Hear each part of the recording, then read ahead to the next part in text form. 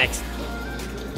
So my brother hasn't um, he hasn't trained for a while, so it's been quite a while. So for him, he's probably still getting mind to muscle connection, and obviously mind to muscle connection as well. So obviously the two second pulls for him at the bottom is going to be awesome for him, because his mind's going to get used to it. Okay, I'm back into training, and I'm training my chest today. Barbell press. I want to make sure he has a natural arc through the back as well. It's very important. His core switched on. Okay, with his legs, his legs are fine. Okay, but I wouldn't mind joshing his legs back a bit further. Yep.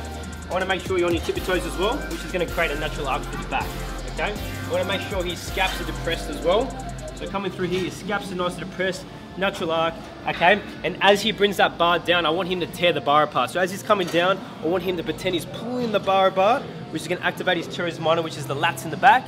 And then as he comes up to a press, he's going to feel more activation through that chest. How's it going to that, Josh? So pull the bar apart, hold, one, two, drive up, and make sure you squeeze through that chest, okay?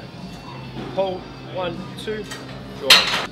So guys, as you're doing any type of movement, even on squats, okay, and you make sure you're tearing the floor apart, which is gonna get nice activation through glutes, but here we're activated through the back, which is gonna get a nice, better contraction through his chest. One, two. And guys, with your breathing too, breathing is the most important thing. I see people not breathing throughout their workouts as well. Breathing is like 30% of your injury, it's massive, okay? So as he's coming here, he's gonna be holding his breath, one, two. As he presses up, he's gonna be breathing out, okay?